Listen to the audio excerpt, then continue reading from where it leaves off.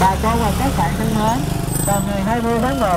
năm 2014 tới đây, tại thư viện huyện Đầm Dơi, tỉnh Cà Mau sẽ sự việc sẽ, sẽ diễn ra sự kiện internet với thanh niên. Tham dự sự kiện internet với thanh niên, các bạn thanh niên và học sinh sẽ có cơ hội trải nghiệm những ứng dụng thực tế trên máy tính và internet để hiểu rõ hơn máy tính và internet có thể mang lại những điều bổ ích và lý thú như thế nào cho cuộc sống của các bạn. Đây là sự kiện thuộc khuôn khổ dự án nâng cao khả năng sử dụng máy tính và thu nhập internet công cộng tại Việt Nam do quỹ Bill and Melinda Gates tài trợ.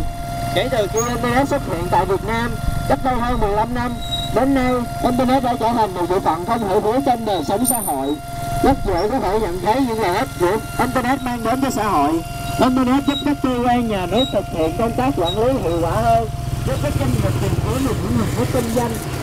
những cơ hội kinh doanh mới giúp người dân có được một công cụ hữu hiệu 这么多东来